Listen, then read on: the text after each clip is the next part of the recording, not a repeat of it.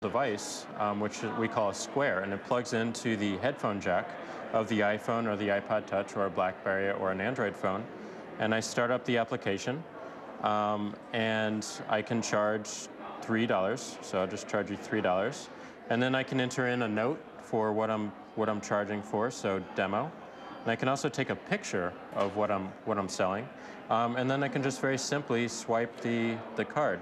And those are your last four digits of the card and then the expiration date. I hit authorize, and it's going up and it's seeing if there's $3 on this card. Um, and you've been approved, and then you just sign with your finger. Great. And you continue, and we're giving out SMS and email receipts. So no more paper. Um, you just choose if you want a receipt or an email receipt. So we'll do an email receipt here, and then you just very simply enter in your email address. Right. Well, we'll The device itself. How much is the so square? how, Uh, we're going to try to give these away for free. So we're trying to get the cost down significantly and just give them away.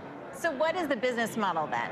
So we're looking at, at transactions. There's a transactional charge to participate in this. Some of that goes to the credit card companies and to the banks themselves, and then we'll take some piece of it. But we haven't determined what those rates are going to be or what it's going to look like. And you said you expect this to launch pretty broadly in March? early, early next year, we're, we're aiming for March.